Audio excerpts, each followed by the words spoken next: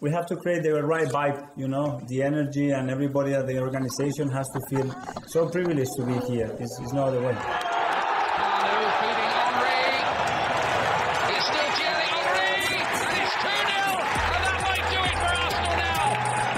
Thanks for listening to the Purely Arsenal podcast.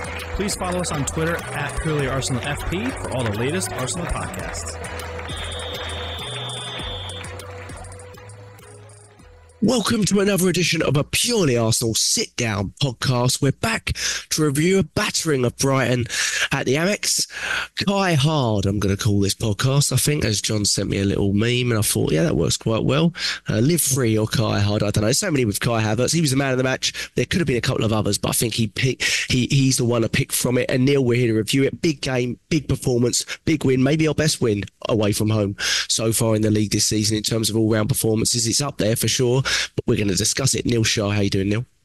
Yeah, I'm good. I'm good. Five five away clean sheets on the trot. Can't ask for better than that, can we? So yeah, uh, buzzing.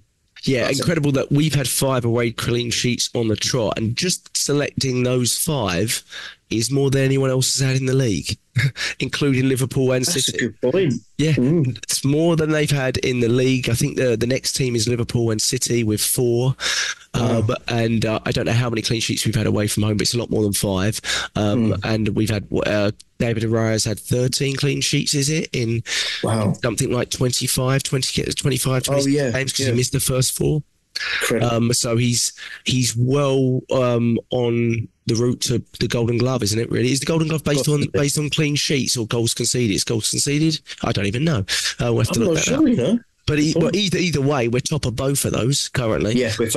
Um, yeah, we're first in both of those. Our goal difference is looking pretty healthy, and so is our points total at the moment because we're top. Um, currently, obviously, Liverpool to play tomorrow, which we'll we'll maybe touch on a little bit. But Neil, going into this one, I was nervous. I was nervous. Brighton are the fifth um, best expected goals team in the league still after a pretty topsy turvy season for them, being in Europe. Yeah. They've had a drop off in the league, a little bit like Newcastle had, though a different team, a team that really tries to play progressive football. I was worried. Uh, we, we hadn't had much turnover, much rest. We did rotate a lot in midweek when we beat Luton, so that was healthy. We made four changes for this game. Um, know, I, I want to. I'm going to come back to the lineup stuff because I know we don't. You don't love the lineup questions, but I want to talk about how we started the game I felt in the first 20 minutes, tell me if you think different, but I felt in the first 20 minutes, um, whilst we, we created a lot, well, you know, Saka had a missed chance just past the post. Jesus had a lovely chance on the edge of the area. But at the same time, I also felt they were um, breaking from our press really comfortably and almost bypassing our midfield, not creating a ton, but getting to the point of creative territory. And I just felt it was a little bit chaotic. Um, and we're not used to seeing that with Arsenal. How did you feel in those early stages? Because I think I text something to the group, something like, we're a bit all over the place here. And other people watching it may not have felt that. But did you feel the same thing? Or were you like calm and confident and collected? How did you feel? Yeah, I, I think I, I I was kind of like that, but I was I was calm. Um, look, Brighton are a tricky side. They are fast and I wasn't expecting anything different, to be honest. And I thought they're actually, you're right, they were breaking away pretty efficiently. I thought they had a number on us. I thought, okay, this is this is interesting. But actually, Jack, while they were whilst they were doing that, I still believe that we were quite defensively organised. Um, we we always kept our shape and we just kept getting bodies in the way, and they just couldn't. Although they were getting past us in the meeting, they even at times have, may have had defenders, you know, behind us and all the rest of it. I just felt that we were so well organised, it just wasn't amounting to anything.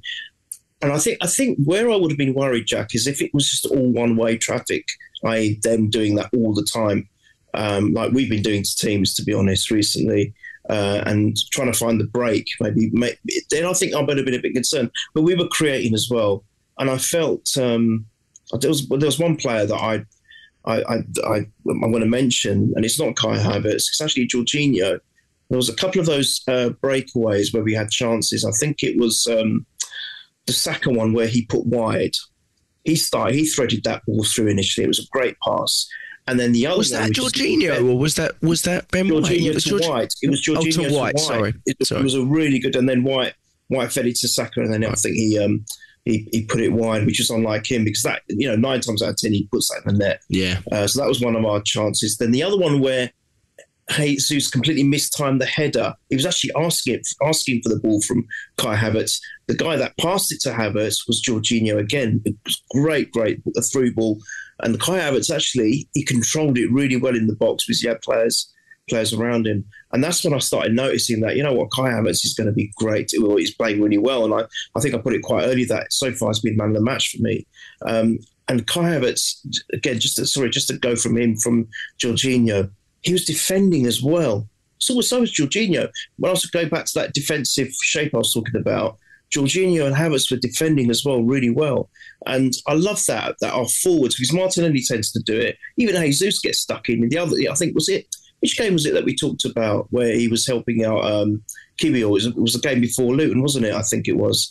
Where yeah, against Man City, wasn't it? Yeah, of course Yeah. it was. Yeah. Um, and um, it, that's what I like about our forwards. They're doing quite a lot uh, in terms of well, they have to be because we've got the most goal, best record for goals scored as well as uh, you know least goals conceded Correct, Neil. but they're but but they're but they're doing they're, they're doing the work defensively, and they're also defending not when not just going back to our goal mouth. They're also defending up from the top.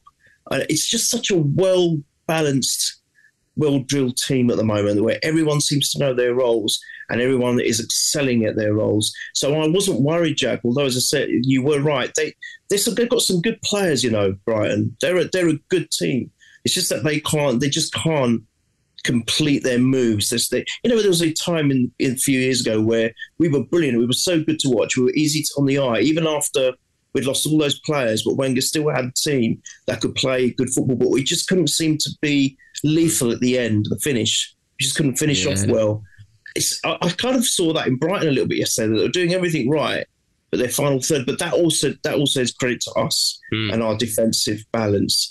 So no, I wasn't that worried. But yeah, we had some great chances early on. But I, you could just see it's going to come. We were just so good at what we were doing. Oh, yeah, it- Yeah. we're, we're, a, we're a different animal now, D- uh, Jack, for sure. I think that's what's impressive because I'll be honest, I felt Gabriel's touch early on in the first 20 was a little bit off. I felt Rice um, got turned from, from Baleba a couple of times, and I was like, oh, he looks a little bit. Not leggy, but just almost like you know the midweek rest as he needs to pick it up again. He's so used to continually playing, right? Sometimes those players that play constantly, you you worry about pulling them out as well. You know the the Havertz, the Rices, the Odegaards, because it's rhythm. It's rhythm. Like Xhaka just had rhythm, you know. And I, I, you hear that a lot from managers that sometimes you you don't want to pull them out because they're in such good rhythm. They're used to it. They don't feel the pain. They keep fighting through. And I, I just, but what I really love about Mikel Arteta is I think he sees what's on offer and he adapts to it in game, right? So I felt, I felt we weren't really getting anywhere with our press. Like we were trying, we, we, we were trying to press them. And if you remember the first game at home, Neil, we pressed them so well in that game. Like the, we were like, wow, they they they just continually playing out the back and we're continually catching them. And we beat them only two 0 but it was a dominant performance. Kai Havertz scored again. And um, but at the time, we were thinking it was one of our best performances as well. And but in this one, I just felt that after that first twenty minutes, it's just everything settled right down. I felt we eased a little bit off our press. We were like, okay, just ease a little bit off. We're not going to go as gung ho on the press a little bit and, and and commit as many bodies forward. And suddenly they couldn't bypass us anymore. And Rice looked a bit more comfortable, and Jorginho was on the ball more, and it just looked like everything had settled. But you're right, even within that 20 minutes, we had by far the best chances. The Saka one wide, like you said. The I think it was Jesus from the edge of the area. It was a fantastic save when you saw it from from the back view. Um, you mentioned that the header one, which Jesus should have done better with that header. To be fair, um, I, f- I completely forgot about that one until you mentioned it. But but now you. And the Gabriel of the first minute from the Odegaard, Oh that was my great. gosh! It reminded me of the, of the Liverpool away game that header, but obviously he scored from that header. Yeah. Same thing, free kick. what uh, a what a ball from Odegaard. Yeah, though. lovely little floater. He did the same thing onto Gabriel for, for the Liverpool game, and I, I thought he was offside because I was like, "What? what how's he so free?" But he, but he wasn't, and it was um, that was a bit that was a big miss. To be fair, he had a couple of those Gabriel in this game we could have done a little bit better from, but but everyone settled after that, um, and and and we really started to play some some good stuff, you know.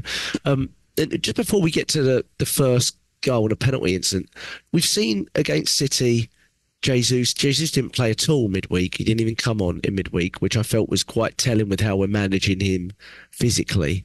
Um, it'll be very interesting to see how much he plays this midweek because obviously it's a bigger game against Bayern in the Champions League. But what do you think, Neil, of, of Jesus being sort of deployed out left? On the one hand, it makes perfect sense because Kai Havertz is clearly now, and I think Arteta's quotes, which I'll pull up in a second, were really, um, really quite not damning, but quite quite insightful of where he thinks Kai Havertz's future lies. And this was the first time he really reacted to saying sometimes it said something along the lines of sometimes players kind of tell you where they're they're going to play by the way they're they're moving and, and, and where they're picking up the ball and stuff like that. But I think it's this game, but along since January, we've kind of proven that Kai Havertz is is, is our our best number nine option. But also, we've mentioned even before that that Gabriel Jesus could be a wing option for us. And I just wonder what your thoughts are of him the, on the left wing. We've seen it against City where we had very little of the ball. We've seen it against Brighton where we had far more of the ball. In both games, I'd say he was heavily involved in a lot of our attacking play, though quite wasteful. Um, I just wondered what your thoughts are because the left wing is not somewhere where we're struggling to find players, but it does seem like Mikel Arteta is is is using him there, and I don't necessarily think it's a it's a short term, a couple of game thing. I think we might see a little more of it possibly. I don't know. What are your thoughts on it uh, with Gabriel Jesus? Because he's definitely valuable to the team. He's so much for it, so on the ball, so um, so, so involved. But at the same time, you do feel sometimes feel he takes too many touches, he's a little bit wasteful. Uh, you know, the same Gabriel Jesus stuff that sometimes frustrates you at the nine. You know. I think that's my main concern that he's not um, putting in or converting as many chances as he, as he should. I mean, look, he had, he had two in the first 20 minutes yesterday. All right, I mean, the save wasn't his fault. He did that was everything. He, he, could have done anything better than more than that. The goalkeeper just made a tremendous save. It's yeah. one of those he couldn't have done anything more. But um, to be honest, I'm not really giving it much thought. The only thing that has bothered me about it, it's not so much how it might be affecting him either positively or negatively. It's more that he's keeping Trossard and Martinelli out, which is bothering me. It's not about him because I think he's quite capable of playing on both sides. He's played on the right. Remember once where you, I mean, you, you're the one that mentioned it, Jack. Remember we played Jesus there in front instead of Saka because remember you've always had this issue about we need someone to you know, it's cover Saka, and we need yep. someone to maybe, maybe not so much give him competition. This boy doesn't need it, does it really? But just to cover him, if nothing else. And then I think we saw Jesus play there a couple of times, and he was all right. He was quite effective there. Um, and you were even thinking, "Oh, there's your answer. We, maybe we don't need to buy externally, and we've got it. We've got that player in Jesus because you're right. We've got an abundance on the left anyway. You've got um, you've got players who play behind them that uh, can work well with them as well. Um, you know, Kiwior's shown recently. We've got Tommy Tomiyasu. Zinny's the. I mean, Zinny even when things are going well, I've always said he's all right as a player. It's when we've got to really be tough, tough at the back where I worry about Zinny because I still have question marks about his defending. Oh, that's a good point. You said if I was concerned yesterday, he was the one that was just making me a bit nervous at the back because obviously with Brighton make threading those um, attacking moves together, he was worrying me. So just that's just a quick quick point away. As and sorry, I digress there. But Jesus, no, I mean, look, I think we've all said it from the start that he's not a prolific goal scorer. He's not going to get you 15, 20 goals a season, but he offers so much. A bit like how I saw Kai Havertz um, when he started getting his getting comfortable in, in his position. I thought he may not be scoring loads of goals, but he's such a menace and he's so useful to have there because he's he's really distracting the defenders, and that's giving the opportunity for the others to to have time and room to do their thing, i.e., the Sakas, the Martinellis, Trossards, or even Jesus. But Kai's actually now starting to put the ball in the net. I mean, he scored how many goals has he scored now? Is it nine? He's got 13 goal involvements in the league, nine goals, right. four assists in there you go. games. But right. a large proportion of those games were from midfield. You know. Right. Well, okay. So he's he's, he's a bit like that, but I, th- I think the only thing that I would want now, I, have never it never bothered me before, but I want Jesus just to put maybe a couple more in the net But it's not him that I'm worried about on the left. I don't want Martinelli to come in and play on the right. That is bothering me. Even even as he's coming on as a substitute, I think Martinelli is far more effective on the left or even centre. But Kai Havertz at the moment is Kai Havertz is the new um, Saka stroke Rice. Doesn't seem to. Um, don't tempt. Don't um, don't tempt fate, Neil. Don't jinx it. But he looks fit, doesn't he? He looks like a, a really strong player. We were saying saying it on the podcast after Man City. Yeah. I think that we were thinking, oh, is Saka going to feature? And obviously, he was actually dropped for Luton, but you knew that it wasn't going to be a long term out, is it? Because he said it himself. He was in, in the interview yesterday on, on, from Sky. He said, "If my legs are working, I'm playing, no matter what." Uh, he's just made of. He's just ridiculously strong, Saka, and but you can see that kind of that attribute in Rice. Rice is going to be a player that's going to probably play a lot more than he's going to miss for injury. Kai Havertz looks fit and strong and able. So you know, um, he's going to feature and he's going to be in the middle. So I, I don't see how Martinelli should be stuck on the left, uh, sorry, on the right, where he's yeah. far more effective on the left. So that's my concern mainly with it, Jack. I hope I hope that's temporary. I I, I mm. see no value to doing that um, for meaningful moments. I, I, I don't really. When we did it against City late on, and that worried me a little bit because I, I don't recall, and he's played him there a few times, ever being very impressed with Martinelli on the right wing. He, he seems like away from the group almost. He doesn't get involved as much. It just doesn't work. It just doesn't work. And and if you're going to use Jesus on the wings, like you said, just just play him out on the on the right. I understand if Saka's playing, so this starting lineup, I get it, but you know, and, and obviously I think Jesus was one of the one of the earlier substitutions. So okay, that you know.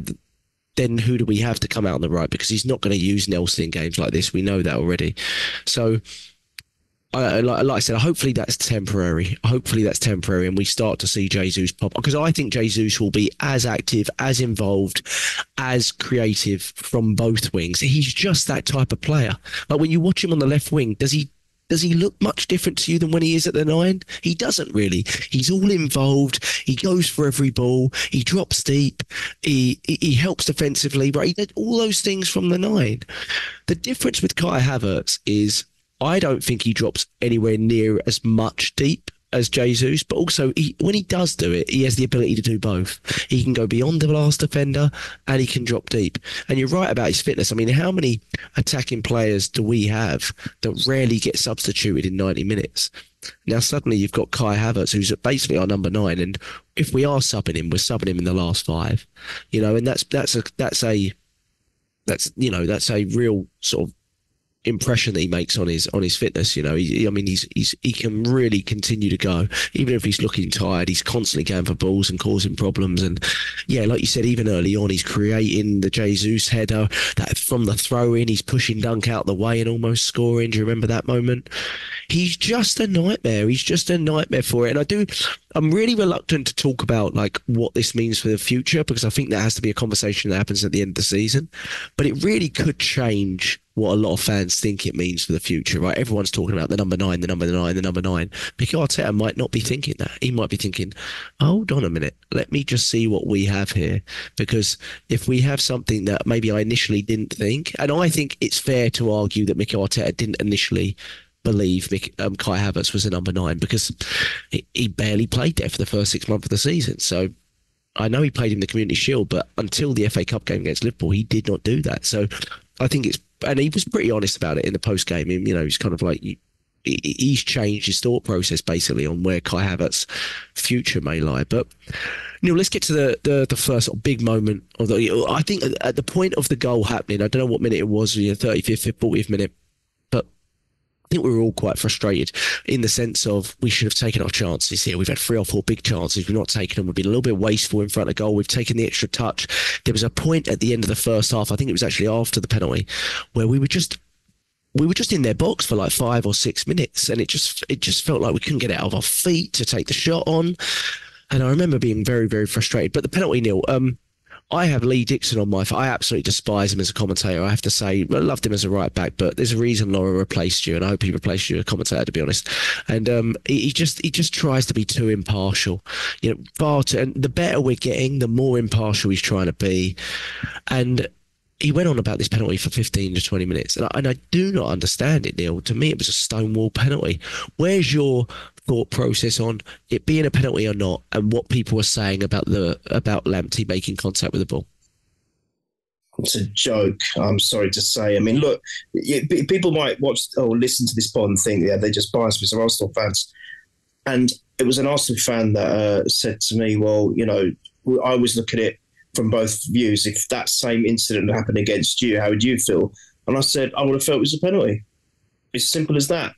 He got more of Jesus than he did of the ball. And even if he did touch the ball, which I think, all right, he might have had the, the slightest of touches, Jesus, if he hadn't been tripped, would have still been on it. That's the thing. And it stopped him. It, almost like, irrespective of him making a feather touch to the ball, it stopped Jesus from creating a goal scoring opportunity in the box. And correct me if I'm wrong, Jack, that means penalty. Does it not? It, I, I, saw it and I thought I'm kind of I'm trying to understand why people are going on and on about this afterwards. Now you mentioned Lee Dixon, I've got Alan Smith here who's exactly the same. He's going, Well, I can understand why VAR are looking at it. And he goes, It's going to be a really tricky one for VAR. I'm like, How can it be a tricky? All right, VAR, when it comes to us, make it tricky because they just want to make it tricky for us. So I thought in that respect, he's right, but not for the reason he was saying. He was literally saying, Well, I'm not so sure. You know, I can understand why it won't be given. And like, what are you on about? It's a stonewall penalty. And what what frustrated me afterwards was the that idiot on Sky. I think uh, I asked you guys whose name what whose name it was. Dave Jones, yeah, uh, yeah, and he's like constantly on about it at halftime. Right, you've dealt with it at halftime. Now, why don't you talk about how good we were? Because there's not many teams that can go to Brighton and do what we did to them. But yet, all he seemed to focus on again. All right, you you you you're, going to bring up the, the, the penalty again at full time because you're going to speak about all the goals and all the incidents as a summary, like we're doing very much in this podcast. But you've already spoken about the potential controversy about it half time. Why bring it up again at full time? Then just talk about the fact how good penalty, you know, Saka converted it. Why are you bringing up the controversy about it? And I thought there's such a narrative with these channels against us. You know, if it had been anyone else, they would be going, "Oh, what an amazing!" Even if it had been Man City or Liverpool, you, you don't go to Brighton away and do that to them the way we did.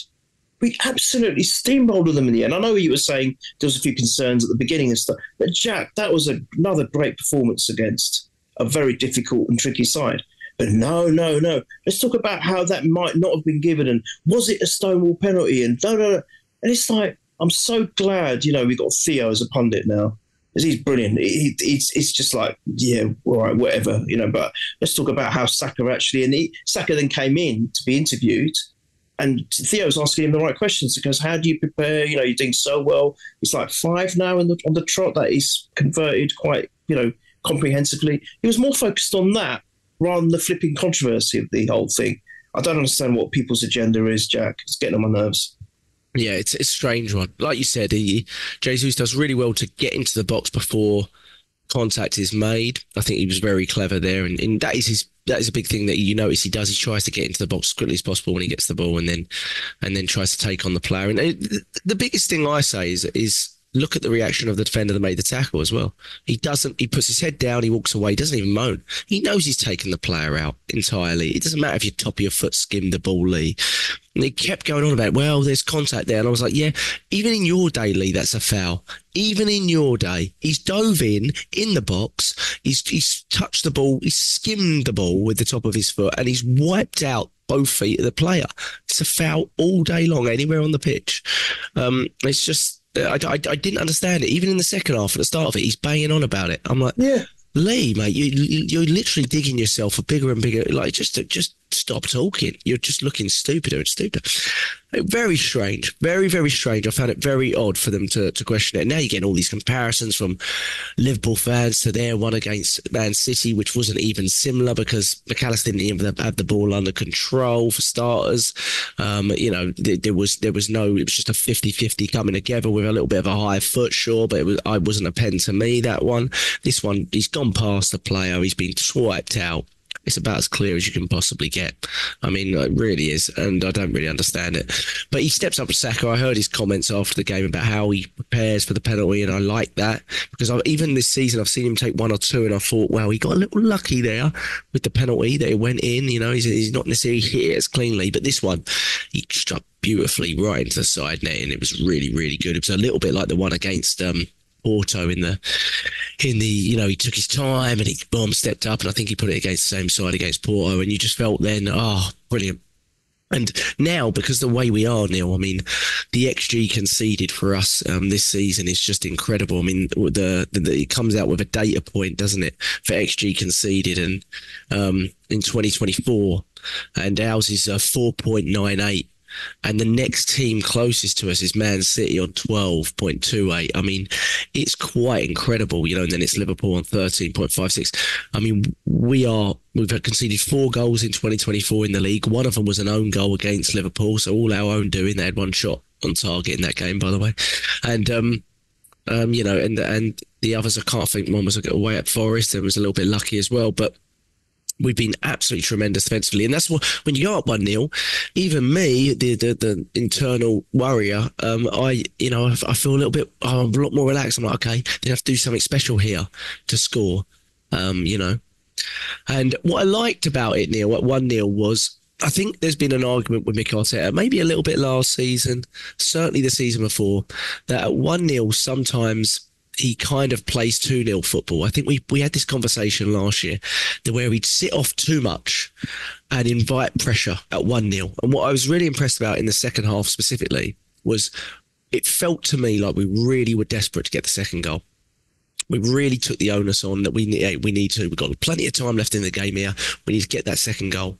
And then as soon as we got the second goal, that's when you saw two what I regard as two 0 football or two 0 and and which was hit them on the break, give them all the ball, and and say to them, "Can you get past us?" Because that's how good we are defensively.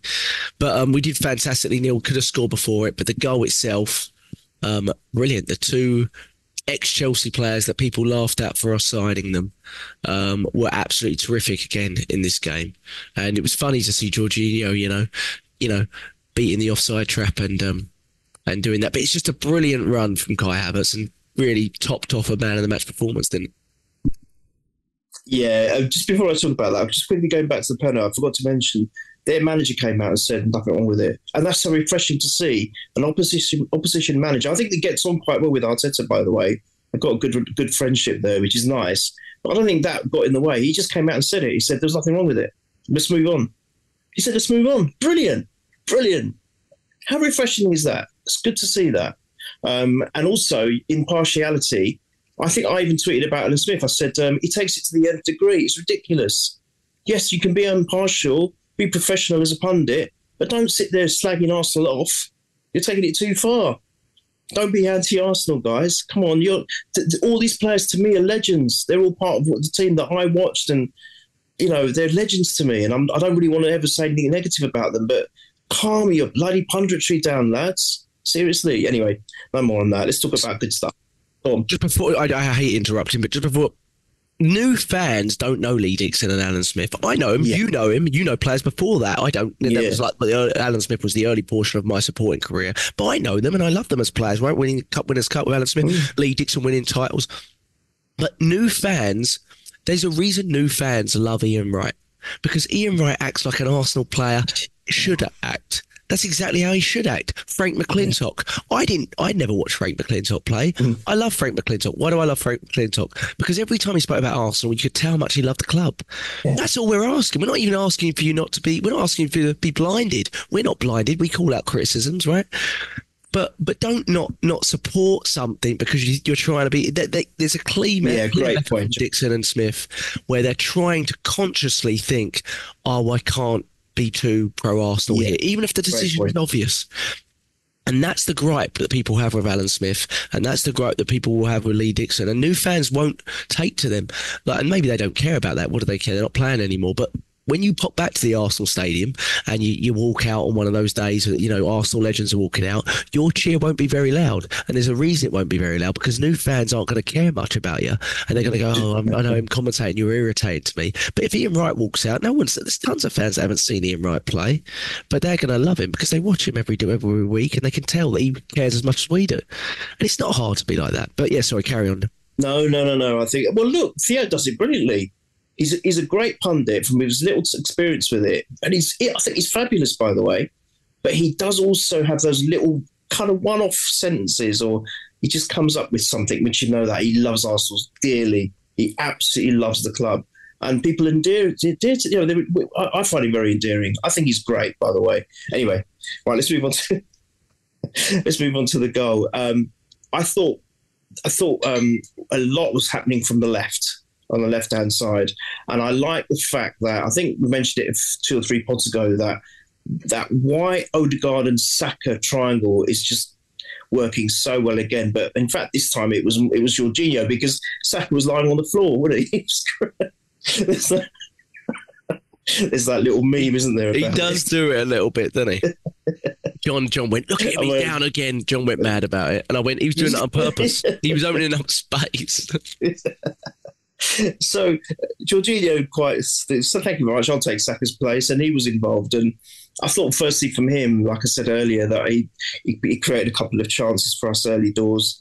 Um, was involved in the chance creations, and uh, that one he actually did become the the lad that assisted. And I, I thought that was a good run by him, but it's Kai Havertz of awareness. That's another thing which I've seen change in him since when he first came on board early, you know, early in the season. That he was he, w- he wouldn't get into the optimal positions. But if you looked at that, look at that goal again, he's like weaving through the penalty box, going one way or the other to get into that optimal position. And I love that. And I love that. And I, th- I think I wouldn't be surprised if those two have had a word outside of game time thinking, we've got to do a, a goal where I assist and you score or vice versa. And, it, and it, you could tell from their reaction how happy they were because let's be honest, Jack, we haven't had the best experience with ex Chelsea players. But I think these two have broken that, broken that, you know, that that hoodoo. They have both for me. I find Jorginho simply so useful as a player with his experience. He's definitely going to be featuring a lot in the Champions League games, and I, I think he's a, he's becoming a wonderful, wonderful signing for us. We mentioned it on the last pod that I hope he stays for another year as well um, you know, despite his maybe his age or whatever. But I think he's such a useful guy. Kai Havertz, I think he seems to be getting better and better.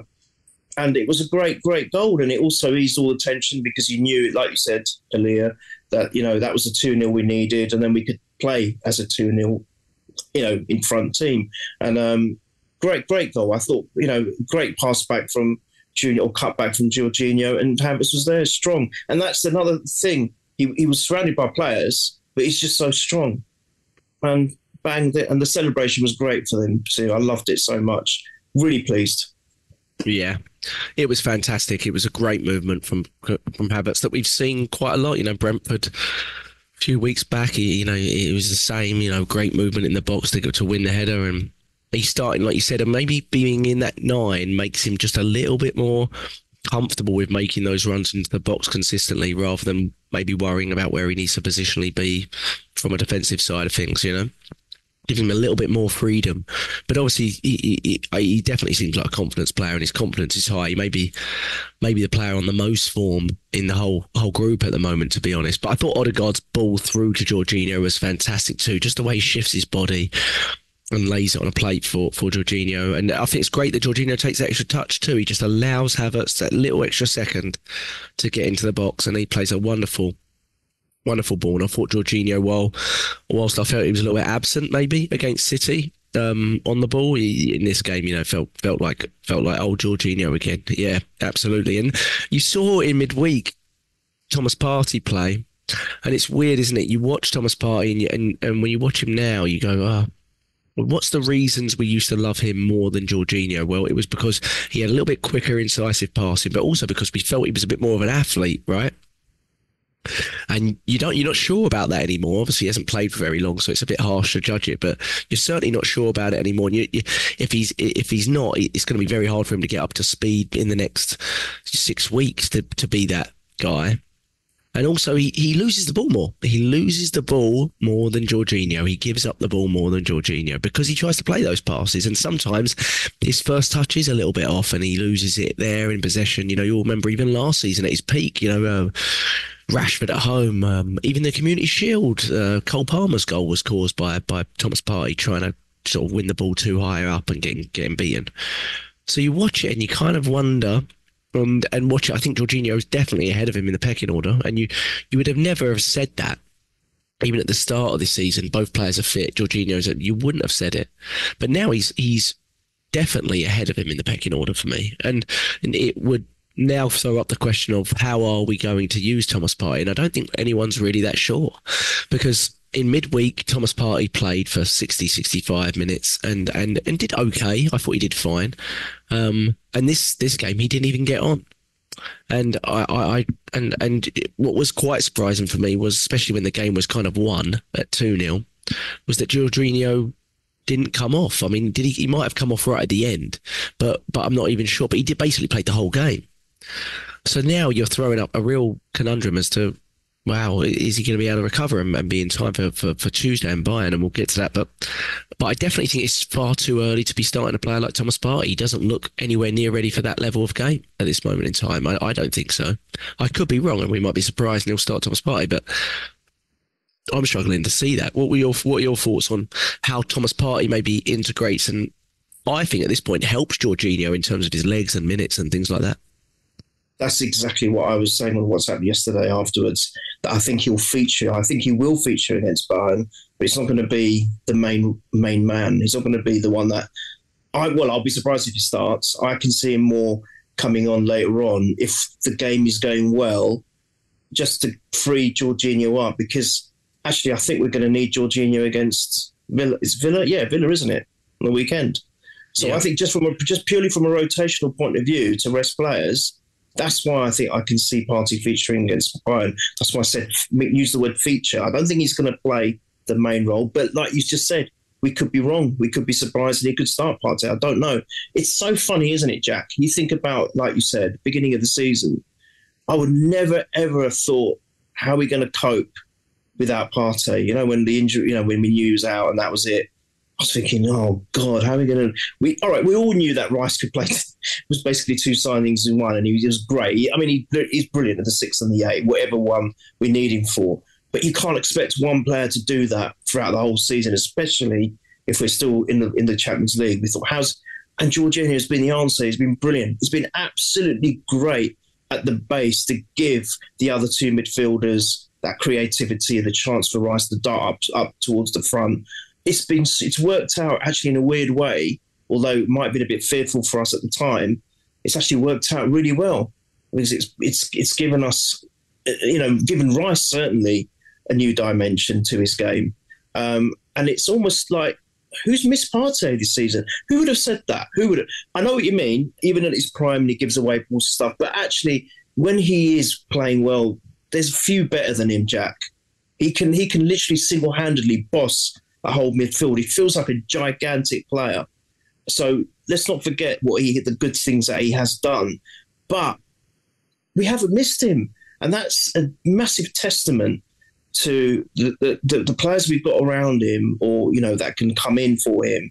But also, I, I just wanted to mention as well the cuteness and the brilliance of our acquisitions from Edu and his team, and probably Arteta's got something to say, to say saying that as well, has been superb. Look at the players we brought in. The players that people weren't even expecting to have done well are absolutely doing well. Kai Havertz, and we got the song for him, but 65 million now seems short change, really, doesn't it? It's, it's like yeah, it's not a great deal now, whereas before people were talking about it. No one was talking about Rice's price tag because he was doing so well but everyone was talking about his money. But actually now it's disappeared. It's a thing of the past, apart from the song, which is more of an ironic thing now. It's more a, more you know, a sorry to swear, but it's more like a P take, isn't it, more than anything else? And, um, you know, even even players like Jorginho that came in, and Trossard, of course. I mean, the, the Kiwior, all of them. Th- who's actually been a bad signing lately? They're all they're all putting you know and making worthwhile contributions to the team. It's great to see for me. Yeah, yeah I mean that's why going into transfer windows and things like that. The the biggest thing would be to just be relaxed because we can be, you know, like once you've got the trust in the in the people that are making the decisions, you you should be able to be relaxed about it. So it, now, I mean, me and James will talk non-stop daily about players we're linked to, but we always sort of have the running background noise of it doesn't matter if we're right or wrong here because if they pick someone else, great. Because that means that's the player they wanted, you know, and sometimes you get might get surprised for him. I have to say, my initial thoughts certainly on Jorginho as a signing was was oh hold on a minute. You know that doesn't feel quite in line with the club's ethos aging player da, da, da, all this kind of stuff. But but no he's been fantastic hasn't he no matter how, you know when he's played or how little or how much he's played he looked like he's a great member of the squad and now he's becoming a really really key member of the first team you know he really is and playing our biggest games and I think you know he, he's really really valuable in doing that. I mean, we, we're going to want him to play a lot of our biggest games. But yeah, the way I would view Partey and Jorginho would be all the big games in terms of you know uh, ones that we're you know up against you know United away, Spurs away, the Bayern games, future Champions League games. Hopefully beyond that, I would be playing Jorginho in most of those. But the others, you know, where you may be hoping that you dominate more um, in terms of territory and the ball, I, I, that's where I think Thomas Partey would come in. Or can Thomas Partey come in at 60 minutes to to transition, or if we need a goal, that would be more of an attacking sort of substitution for Jorginho, which is why I was a little surprised. I think we scored in the 62nd minute, the second goal. I was a little surprised Jorginho didn't come off around that point, and he and he didn't, and he and he, and he stayed, and that's what makes me wonder about midweek and what his plan is. But I think that's what he wants. He wants Tuchel wondering about midweek and what his plan is as well. And I, if we're questioning in three or four positions, then the other manager's going to be because he, you know, Tuchel doesn't know as much about Arsenal as we do. Um, and th- th- that's where we're at it. So I think that's Mikel Arteta's intention anyway. You know, best um, best thing is um, to be a little bit disguised and and and and questioning what we might be doing. But fantastic second goal, and then we and then we start the low block now. At that point, two 0 Well, I think we had one chance. Maybe uh, Trossard had a, had one on the break that he hit um, that almost went in, but got sneaks around the post. And he was very positive when he came on when he Trossard and he got his goal. And it's a great assist by I don't know who wins the ball back. I think it might be Odegaard that wins the ball back because they, they they they loosen it there. But we we basically just sat for for 15 minutes we gave them probably 85% possession in that time. And I was kind of watching it quite nervous. But at the same time, deep down going, they're not getting through this. There's nowhere they're getting to. They're not going to create something from it. They had 0.57 XG, you know. They had two shots on target. I don't remember the second one. They had one that was Enciso from 30 yards out, which was tipped over, which was a good wide by a, a good save by David Raya. I, I do not remember the other chance, so I presume it was straight into David Raya's hands or something like that. Um, I, do, I can't remember it for the life of me, to be honest. But 0.57, just to keep it in perspective, 0.57 XG um, creation for Brighton, the fifth most creative team in the league, according to the data, roughly, um, is more, is less, sorry, than what Sheffield United created at Anfield um, a few days ago. You know, I think we, we are just an incredibly strong team off the ball defensively. I mean, we really are. And since the turn of the year, we've we've improved dramatically in that area. We were good anyway, but we were making errors at the back, I think. And we, you remember we would sit on here and be like, I don't know how we keep conceding because we're not giving up chances, but when we do give them up, they're really big chances, and they we get punished for them. And, and we're not giving those up as much anymore. But you have to say, when you watch Partey and you watch Zinchenko, you start to see why they're not maybe starters because those are the type of players that actually give up the chances. And he's kind of eradicated that since January, one through injury, one through Partey wasn't available before that anyway. And you just wonder, I know Zinchenko started our last two games, but I, I have to say, I feel in the last two games, watching Zinchenko start them both, he's moved further away from being a first 11 player than he was before those two games. But I don't have a clue if that's what Arteta, Mikel Arteta sees. What, what, are your thoughts on him? Um, what are my thoughts on him? I, I, I it's hard not to like the player because I, I find him. Um, he's kind of like uh, what Ramsdale used to be for me. He's, he's he's got that enthusiasm. He's very passionate. You can see that he wants the team to do well. There's no doubt about that at all. You know, I, I, I can't question any of that. He's always the one flinging his arms in the air, trying to get the crowds, you know, going. It's, it's, I know Odegaard does it a lot, but he does it. Gabriel's another one that does it. I mean, all of that I love about him. And yes, when things are going well, we've always said it, he's, he's useful to have. He's very creative, but I've just I just can't get my head around the fact that he's not. Well, I can get my head around of it because the answer is there, he's not a defender, Jack. He's not. He's better at creation, and he's better at, in that position where he's moving forward and doing the inverted role or whatever it is. Defensively, I just it makes me nervous. And look, if Kiwi Kiwi wasn't there, if Tomiyasu couldn't play on the left, then we'd have no choice and we'd have to just end up what it is what it is and we've got you know we haven't got much choice here have we? But we've got so much inter- interchangeability there at the back there's such a word. We've got we've, we've got the flexibility. We've got hopefully timber will be ready for the next season. Uh, i'm not talking about this season but and i'm just thinking I, I know i'm stepping ahead. I can't see where he's going to fit in next for next season. I just i can't see it. Kiwior tomiyasu timber. We might even look at getting well, some of the younger players might even start breaking through. Don't know. Um, where's he going to fit in? Don't need him in midfield. We don't need him to play that inverted role anymore. And defensively, he's he's average at best. So from from that point of view, I can't I can't see where he's going to fit in, and he just makes me nervous. I I, I don't feel comfortable when a team's on the attack and he's there. I can remember one interception he did make in the box which was good yesterday. But that's about it. And that's not great because sometimes you don't talk about a player because you don't need to. I don't talk, talk, talk, too much about Odegaard because we know what we get from him. He's so great. I'm actually now thinking that I'm talking more about Gabriel at the back rather than Saliba. That's not to say Saliba isn't doing a grand, majestic job because he blooming well is. There was one one incident where he was surrounded by two or three Brighton players, and even the commentator goes, "My God, he's just so calm. It's ridiculous." He make he, it looks like he's only playing in second gear, but he's inside our box, so, wasn't it? I think. Yeah, just Incredible. so brilliant. This guy is. You, don't, you, you kind of like it's a weird thing. You don't talk about him not because you think he's he's having a rubbish day. It's because he's so damn good. It's just expected. It's almost become the norm for us to see that players like Odegaard and Saliba doing what they do. But you know, so sometimes when you don't talk about play, it's not a bad thing. It's a good thing. It's the young, unsung hero, isn't it? We used to do that a lot with Ben White, but Ben White has improved amazingly. But I think Zinchenko, I just don't, I don't see a future for him, and I don't know how much he's going to feature going forward. So it is really interesting to see that he's come in and played. Oh, he's had quite a lot of minutes in the last two games, but maybe he's not so certain about Tomiyasu's um, fitness. Is he trying to keep Kiwi away, you know, after the Man City game and maybe shield him a little bit? I'm not so sure what the reasoning is behind that.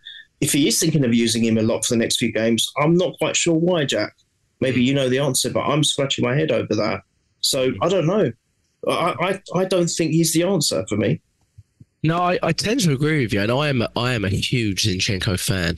But I think what's thrown us off since January is if you said our most creative, fruitful period of the season in terms of goals and goal creation was going to be a time where Zinchenko was out injured, you'd have questioned it, or I would have earlier in the season. But that's the truth of it. We've been the most creative when he's not been in the team, and I think Arteta's noticed that. I hope he has. I'm sure he has, and and gone okay. And I think a lot of the fans have gone, the ones that would give him a little bit of a pass on the defensive stuff hold on a minute. I gave him a pass on the defensive stuff because I felt he was so critical to our attacking output. But he's not because in the last eight, ten games in the league, he's not been. And we've not needed him. And we've been more defensively secure because of it. So our weaknesses have been strengthened.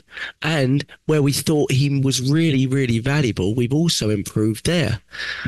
So you look at that and you question it a little bit and, and and you wonder what that might what that might be.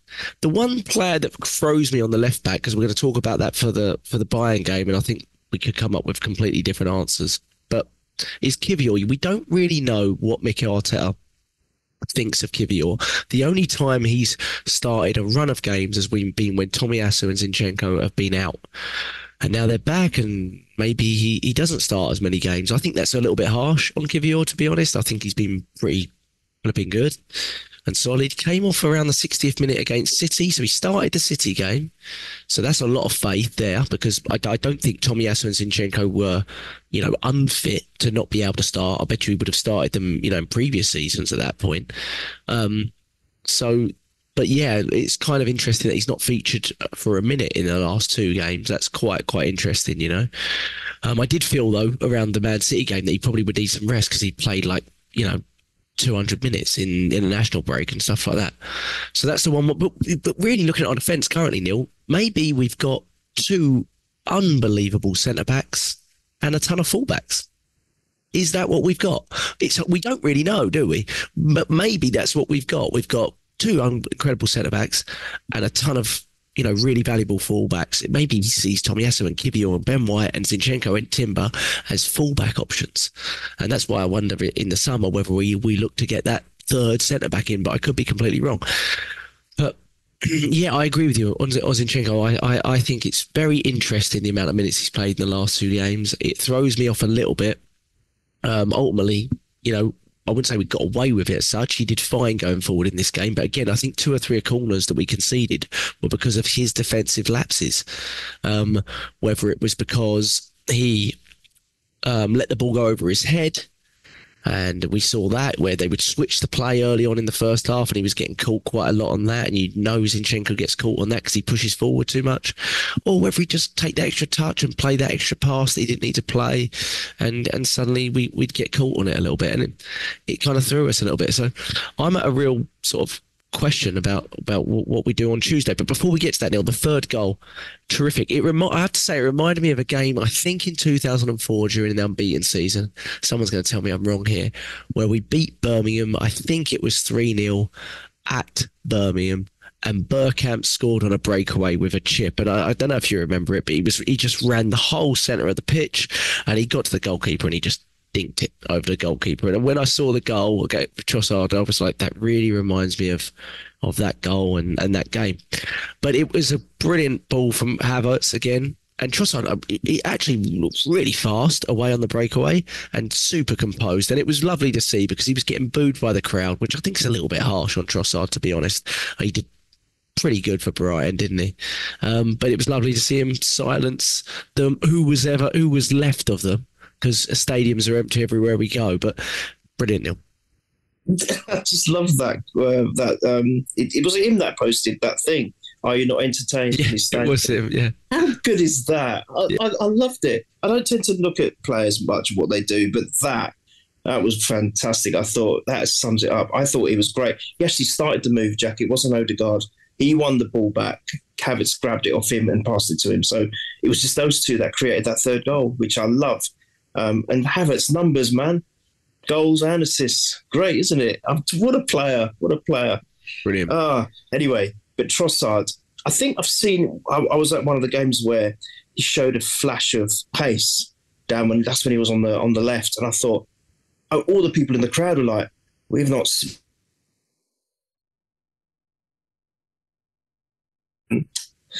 As if did you freeze there?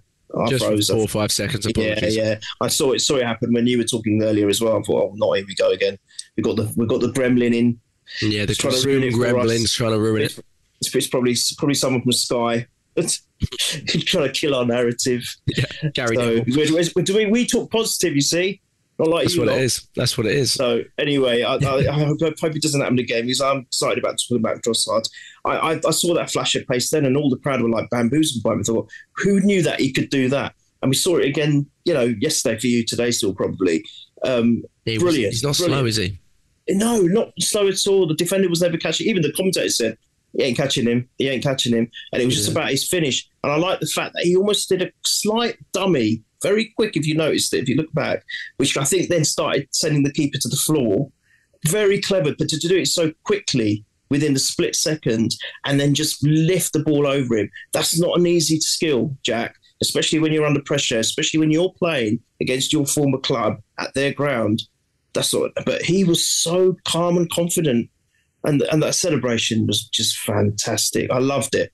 It just summed it up. Shut the club, silenced the crowd. You know, uh, who was it? You or James put on the WhatsApp that he scored against his old club. Rice Cole scored against, and it only leaves Havertz to score against Chelsea now. Um, fingers crossed. That would be just the icing on the cake, wouldn't it? But it's it was great to see, and then that was it. That just for me that was nice because it's just another goal for our goal difference as well, which could end up being very very important now. You know, who, who would have thought that we would be so far ahead of City and Liverpool, who have been the prolific goal scorers of the last few years? And look at us, we're flying, man.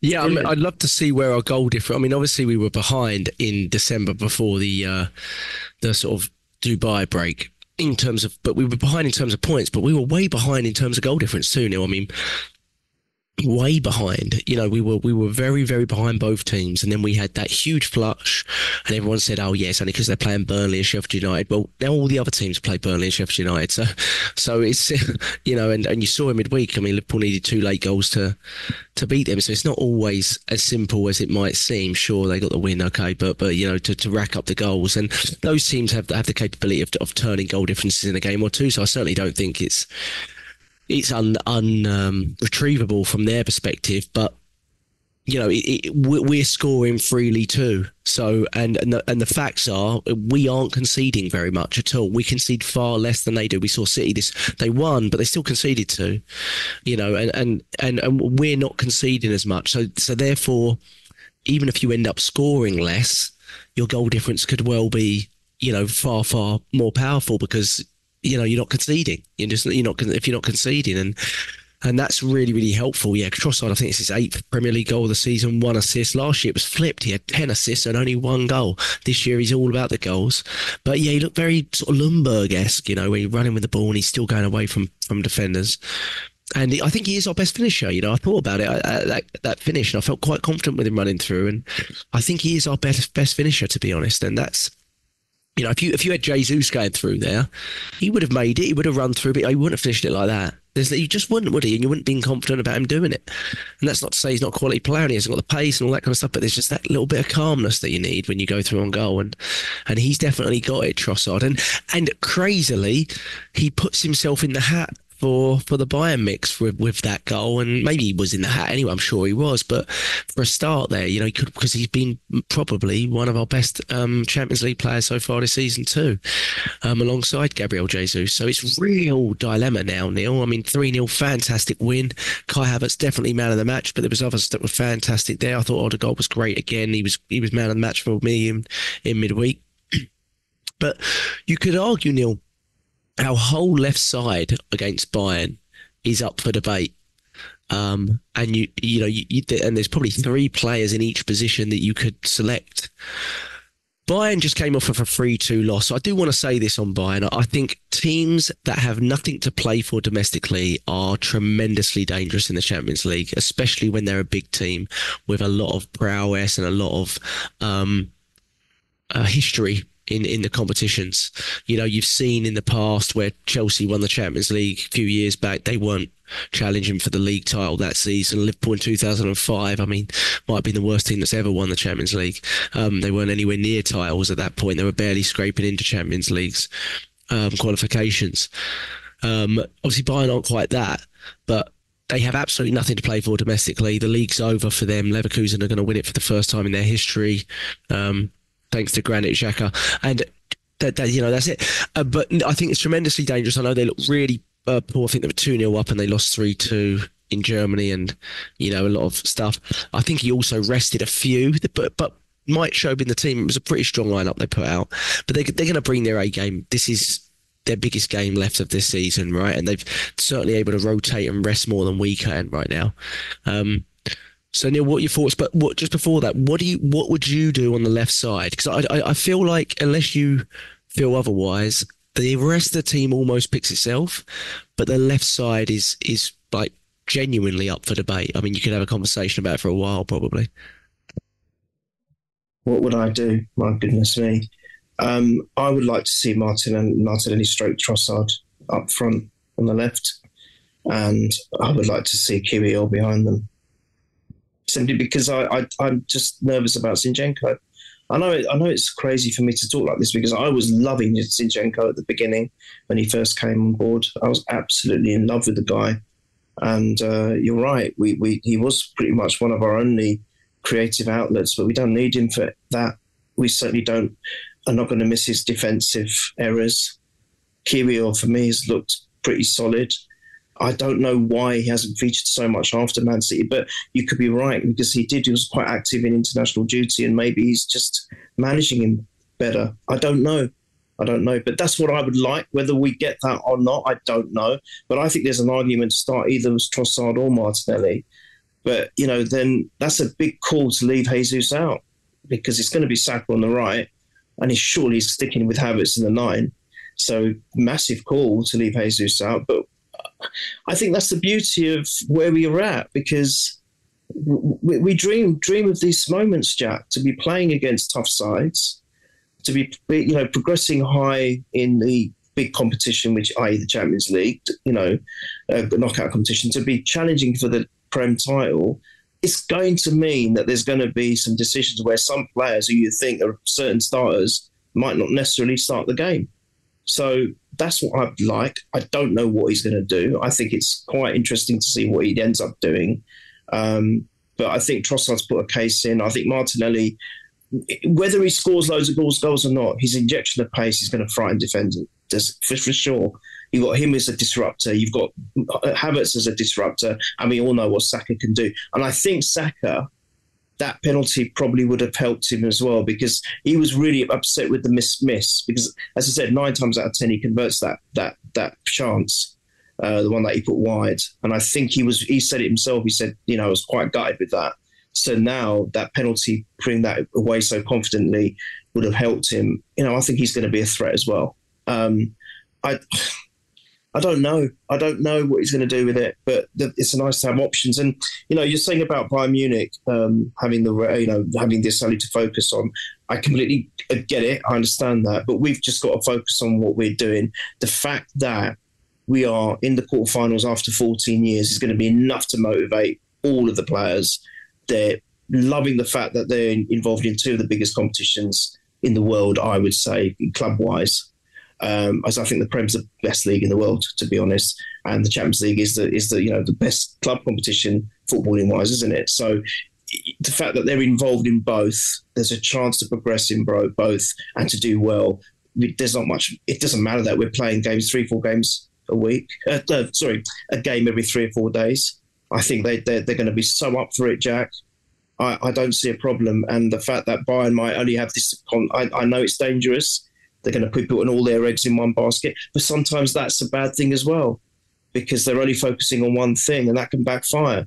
I think having the home advantage sometimes isn't the best as a first leg, but hopefully it will work out well for us. We'll almost put the game to bed. Hopefully, it's going to be so hard, but if we can do that, and then we can do a bit of rotation near the end of the game to rest the players for Villa. That's the ideal scenario, isn't it? But it's going to be a tough one for sure. Yeah, I agree. Oh, sorry, sorry, I was on mute. Um, you're going Kiwior Martinelli. I have to say, I mean, I understand your your feeling, but it's weird, isn't it? Martinelli really hasn't played a lot um, since he cut his foot um, a few weeks ago, you know, a month ago or so ago, over a month ago now, and you're not really sure if he's if he's fully fit or he's truly just really eased him back. It would be very because he could have started one of the last two. I would have thought if he was fit, you know, they would you would think he would have started. And and Kiwior I could see because he's he's only missed a couple of games. He played against City a week ago, so um, I could see that. I, have been quite interested by how he's been using Tomiyasu over the last week or so. Building his minutes a little bit. Um, the likelihood is uh, you know, depending on who they play out there, but they, they, he could come up against someone like Leroy Sane. That's, that's who they tend to play on the right wing. I know they got Coman, but I'm not sure if he's fully back from injury. They also sometimes play Muller out there. Gnabry's usually the guy that plays on the left wing. We know how good he is. Um, but Sane is a really tricky wing. I, I think it's fantastic. I wanted Sane when he left um, City, but um, tricky, really, really tricky. And that's why I find it really difficult to believe that he would start Zinchenko. But at the same time, Neil, in order to win this tie, we probably have to win the first game. You know, you know, we, we probably have to win the first game. So does he look at that and think I need Zinchenko in there? You know, I, I, tend not to think that. I, I tend to struggle to believe that, and I tend to believe that the amount of minutes he's got in the last two games is indicative that he won't get as many in this game. So I, then it leaves you Kiwior Tomiyasu. I'll go Tomiyasu just because I feel like Sane is a real danger player, and and I, I think he might be a a, a, a matchup for them. And um, the left wing one's really hard. I have no idea. I, I really don't. I, I get the feeling that we would have seen Martinelli a little bit more if he would have started. I mean, what's he played like ten minutes in the last three games? Did he? How much did he play against Luton, Neil? Did it? Did he? Did did did he? I'm, I'm gonna look it up now because we. Yeah, have a look. I can't remember. He, he, didn't start, right? He no. didn't start against Luton. No. So let me have a quick look. Sorry, I have a quick look. I should have got that. Um, I can't remember. I'll have a look. But so he's not played a lot of minutes anyway. Like not as many as I think a lot of us would have no, thought I'm saying this point. and or Trossard. I was saying yes. between the two. Yeah, and I, I, I think he could very well go Jesus, but I um I think it will be Trossard or Jesus. I'm I'm really struggling to okay. think he's going to do Martinelli.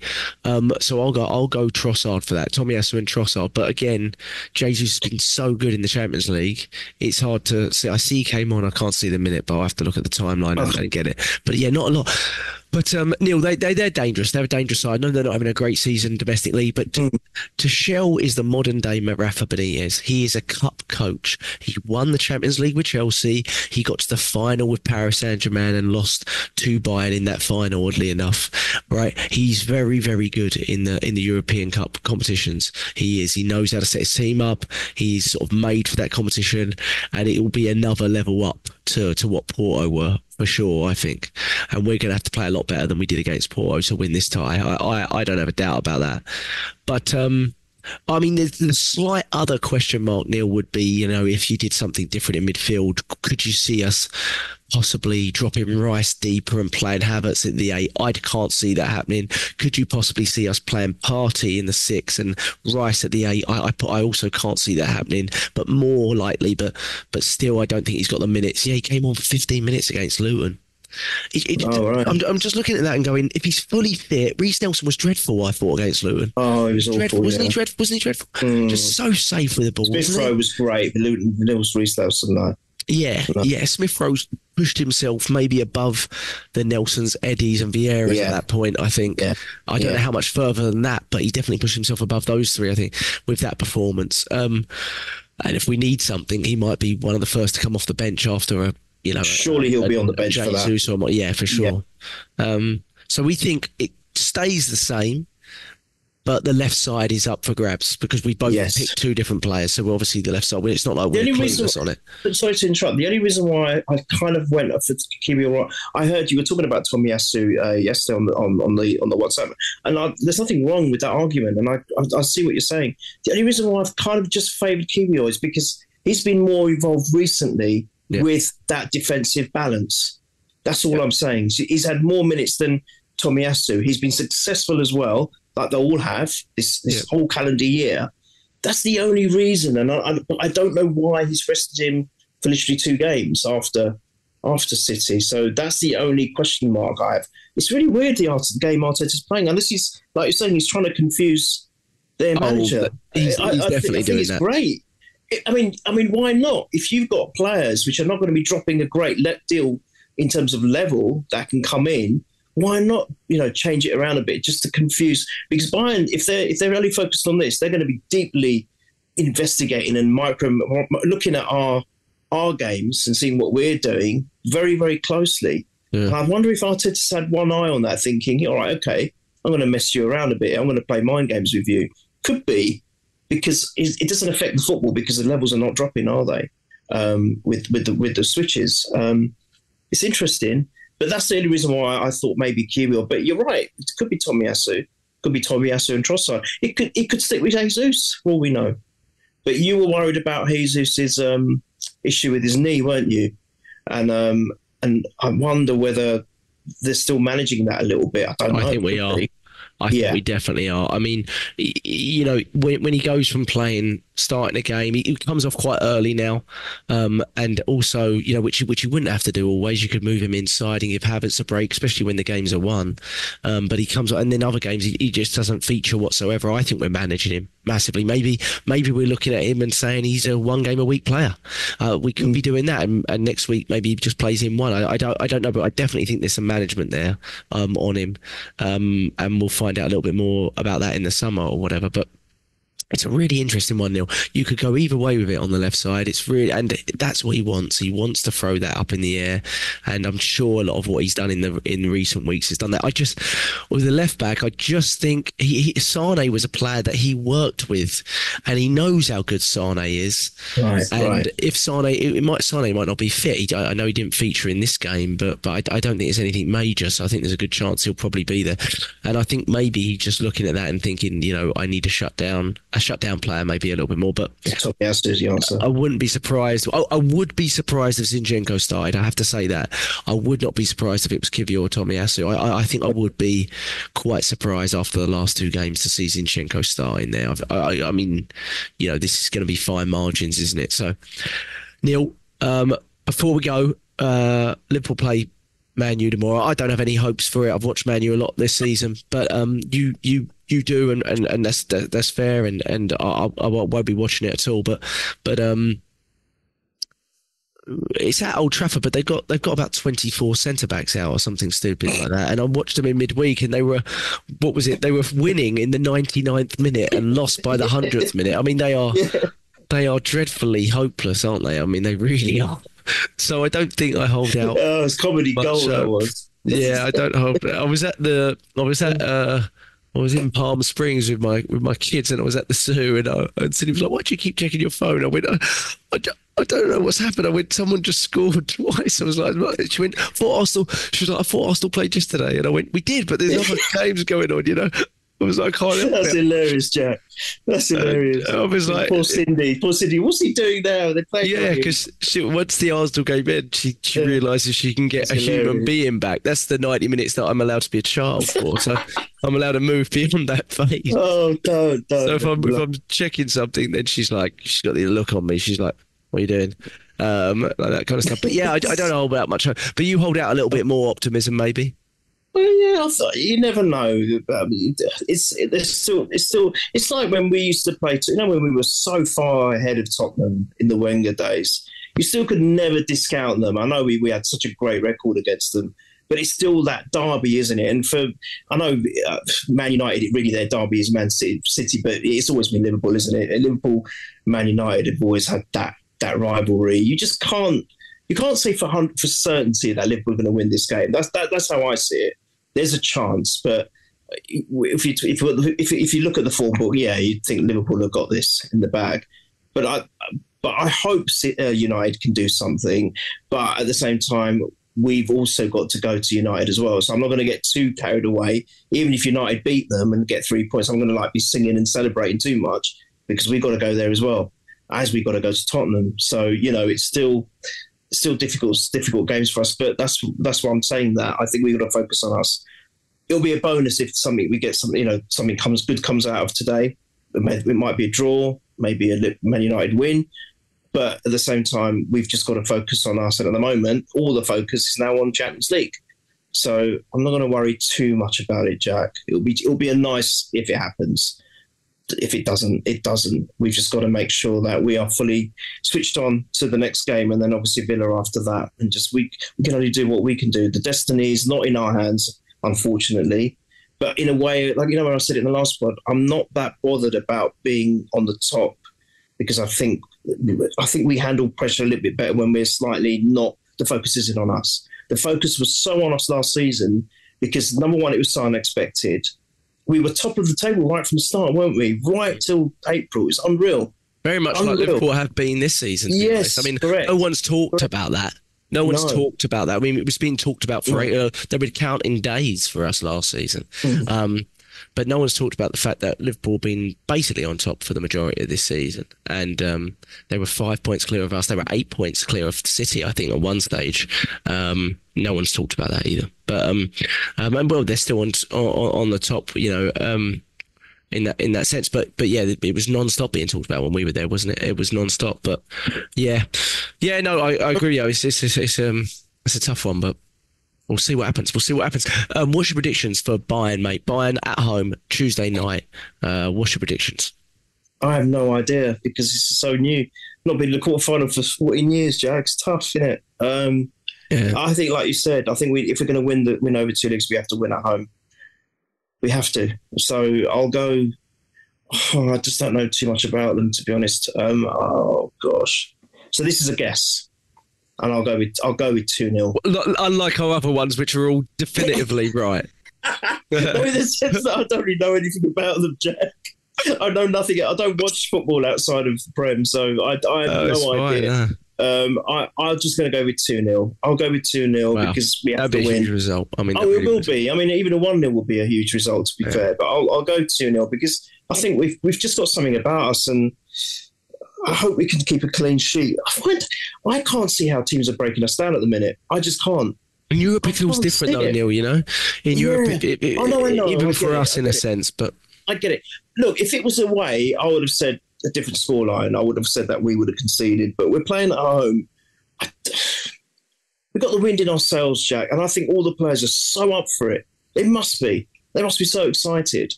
I, I think I, 2 0, 2 0. Shut up, Neil. 2 0. And, um, and um, I'll, I'll say Saka, actually. 2 0 Saka, uh, first scorer. And I just want to quickly mention before you give your prediction what I think you did touch on it, but Raya's save was unreal. That Enciso is a great player, by the way. I was yeah, I like him. Wow, I like this player. like He's him. pretty He's handy. come back from a big injury too. Yeah, and he's Yeah. still to do that. I mean, Yeah. the way he set himself up for that chance, he, he, he that was. But he was doing a lot more than that throughout the game. But I, from when he was on, but I thought he was a tremendous player. By the way, very useful. But that was a fantastic save. That should be Yeah. save of the month. Thought some of- I thought some of his distribution was was really good as well. I have to Mm. say, you know, when we wanted to break break their press, he went short. He went sometimes fizzed it into the centre of the park. He, he, he he's he's really looking more and more comfortable in every game. Brilliant. He's fantastic. Yeah, he's looking more, and he's just so calm, isn't he? Just so Mm. calm, and I think that that generates through the team a little bit, you know. And uh, uh, we've got to mention as well, uh, Gabriel's block and the celebration was was fantastic, wasn't it? Says it all, doesn't it? Yeah, and that's huge, really, Neil, because I mean we're three 0 up there, and and you know most people, most sides, even the top sides, they kind of switch off a little bit, and but they, to not even allow the shot on goal, you know, it was going in by the way. Was, um, oh yeah. Is is is huge, you know, and he's just he, he lo- you can tell he loves defending. He loves defending, and that's all the best defenders love defending, don't they? But but it's also didn't we do didn't he do that when we were which team were we beating comprehensively? Was it a five Liverpool or It might have been? Liverpool. Oh, okay. Oh you no, you're remember? Right. Yeah, it was at West Ham away. Yeah, And and they did the same thing because and people are thinking why is he getting so happy when we've won the game comprehensively? It's not the point. The fact that they're keeping a clean sheet means so much to them. For them, it's exactly it's the high standards and doing that is as good as scoring a goal for a defender for me. Um, uh, it's majestic to see that, isn't it? Because it, it, it, it gives the fans so much good feeling that it, because you're seeing from the players what it means to them because it means so much to us. And I think there's that connection. I think it's fantastic. Oh, Jack, this is a great time to be an Arsenal fan, isn't it? It's a great time to be an Arsenal fan all the time, but you know what I mean. It's great. yeah. Look, I mean, look, we're in it, big time in it. Yeah. Seven games to go, and we're, we're we're big time in it. There's no question about that. We're not the favourites. We're not even the second favourites, but we're in it, and there's no one question that. And um, that, that's brilliant again. So let so let's see where it goes. But I'll go. Um, I'll go two one. I'll go two one. Arsenal and uh, Odegaard. I'll go Odegaard. Um, who, by the way, I mean, some of these players playing them out. I mean, we, we managed to give Declan Rice a rest in midweek, but the likes of our two centre backs and Odegaard and Havertz, they really don't get much of it at all. You know, those guys are playing some serious minutes right now, and we've even managed to get yeah Rice and Saka some decent rest and Martinelli in there, but those four Obviously, Yeah. goalkeepers there too, but those four are, are like, and you have to, I guess you have to include Ben White at the moment, which is the one I think we need to look at trying to give a few minutes somewhere where, where we can put Tomiyasu there or or something like that. I, I don't know when that would be. Uh, maybe maybe it's Villa. I don't know, but but we, we need to look at that. Um, uh, good as well that Havertz didn't didn't get the, the yellow card. I think the Villa game is still there, though it's some debate about whether he's on eight yellow cards or nine. If he's on eight, then the Villa game doesn't really matter because it resets after the Villa game. If he's on nine, then he could still get that suspension if he if he if he gets Villa. But but it doesn't matter where you look. When you look it up, he's on eight, but other people claiming nine. I, I don't really know. But um, hopefully, you know, he'll handle it well. We seem to do pretty well against Brighton. It didn't seem to affect his game at all, did it? So um, we shouldn't worry about it too much. Neil, we're at Purely Arsenal FP on Twitter, Purely Arsenal on YouTube. Hopefully, this be out for your listening pleasure on Sunday before the Bayern game on Tuesday. We'll keep our fingers crossed for a positive result. First time back in the Champions League quarterfinals in 14 years. Um, as Mickey Arteta says, let's go for it. Yeah, let's go for it. So um, up the Arsenal. Thank you for listening. Thank you for all your tweets and your comments and your comments on YouTube. Appreciate it. And um, we'll be back after after the the Bayern and Villa games. Keep your fingers crossed. Up the Arsenal.